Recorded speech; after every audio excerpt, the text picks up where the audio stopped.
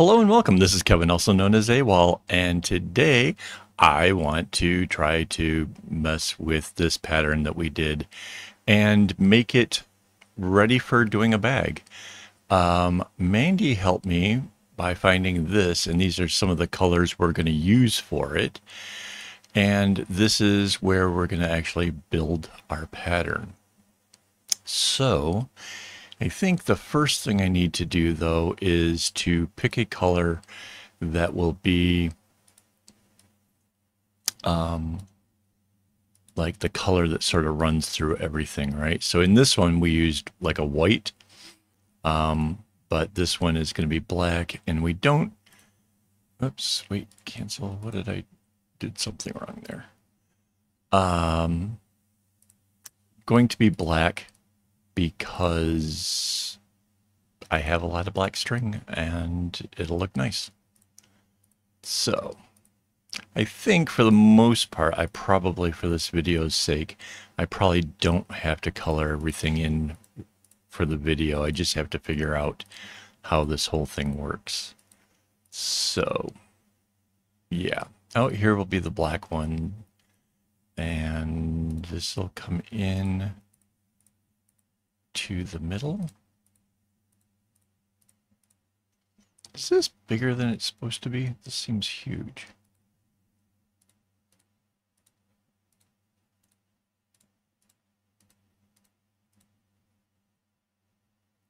And then it's the dark one comes in one, two, three on the fourth one. One, two, three. The fourth one is here like that, right? Okay, so, so far so good. Um, and then it's sort of what, every other one, right? Yeah, for three different things. Like that. So yeah, I guess this is the right size. So these go to the middle. Um, like that one there that one there, this one here.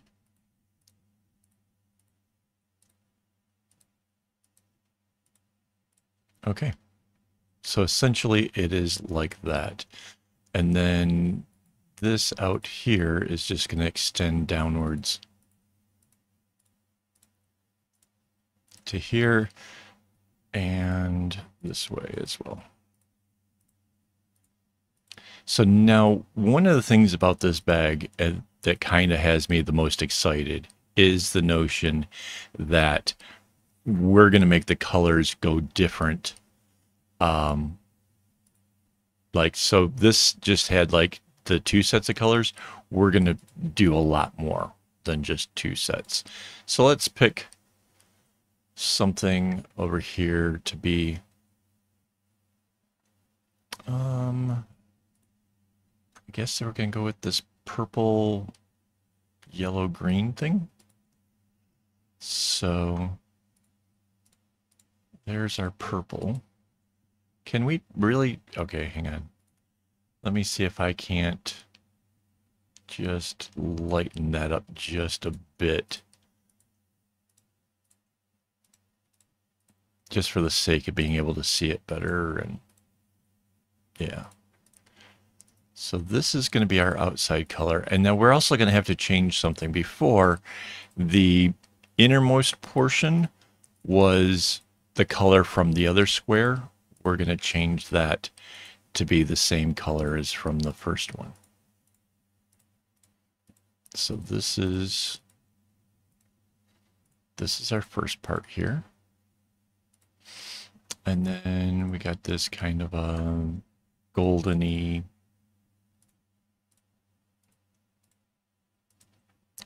I don't know what color. I know there's like a fancy names for some of these colors. I have, I'm not super good with that, but I like this color. It's cool. And then either green or the pinkish thing. I think for now we'll just go with that pinkish thing. I'm going to have to like kind of play around though a bit when it comes to actually making this because um, I really do want it to have that very 70s vibe. And then like in the center where there's going to be no, no knot there. All right, so now let's pick colors from a different square. Let's go with this one. So this is the outer.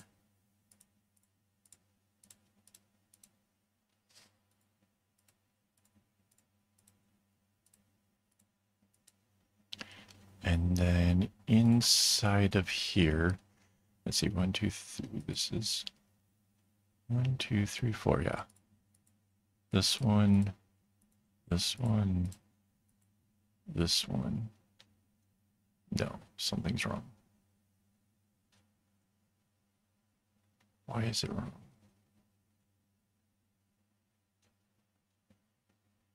Oh, no, it's not. It's right. Okay. I got myself confused thinking that I wasn't getting the right thing here, but yeah, no, that's right. Like that. And then this outer color is what's in here. Right. And then it's got this uh, sort of offish white color.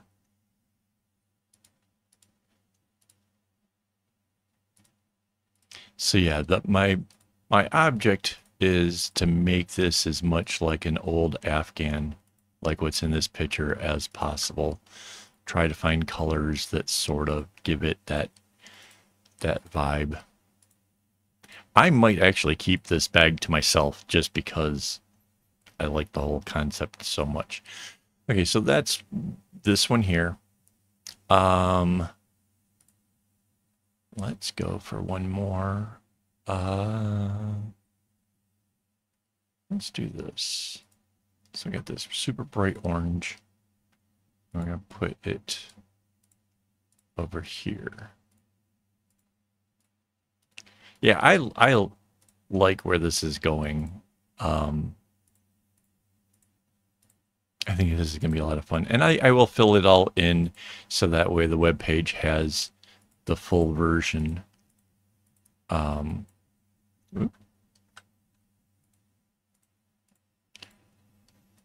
because that would be neat. You guys can then try it out for yourself. Okay, and then this outside color goes down here. So this is kind of like only showing like the three different possibilities for the colors. It's going to be more because the uh, the bag itself would be um, at least four of these segments, four of these these diamonds at the top.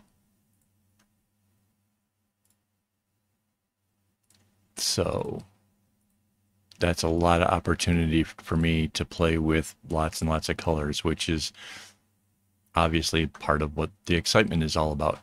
So let me show you. Oh, and by the way, so this top square ends up being exactly the same down below it. So there's not a whole lot of reason for me to try to keep repeating this down very far at all. Um, it's essentially the bag itself will have like three of these um, diamonds coming downwards.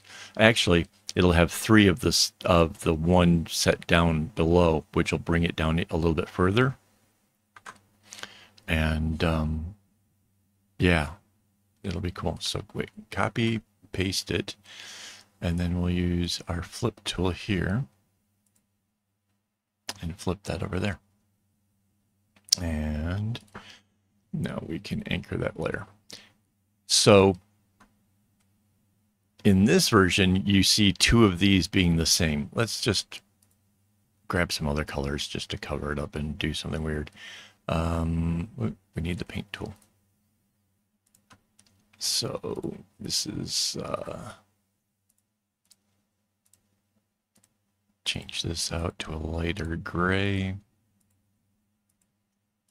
In this case, I really think that it might have been cool to have done it almost with the black color for the, the pattern itself.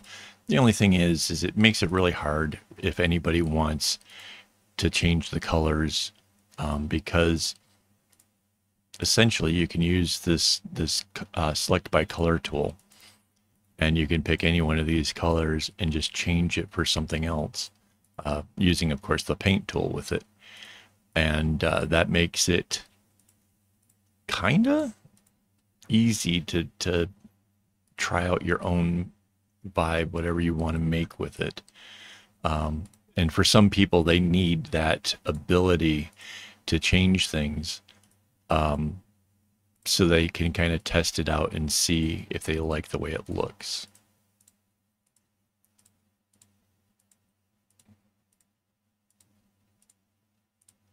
So then there's that blue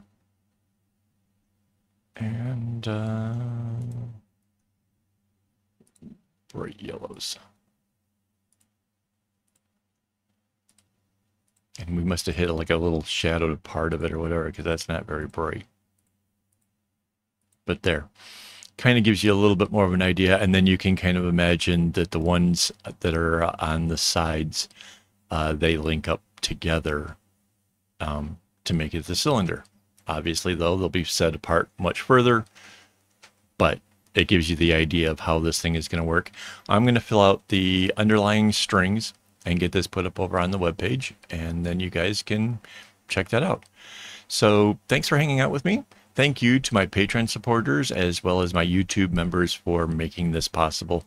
Um, this is obviously going to take lots and lots of string, and um, yeah, I'm pretty excited about it. So uh, yeah, I'm not sure when we'll actually get around to making it though. Um, there's other ones that are planned for before this.